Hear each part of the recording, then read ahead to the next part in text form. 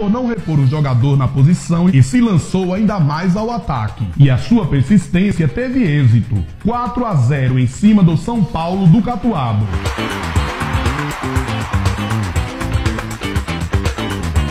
E irá disputar a final com Juventude de Mucambo, que venceu a última partida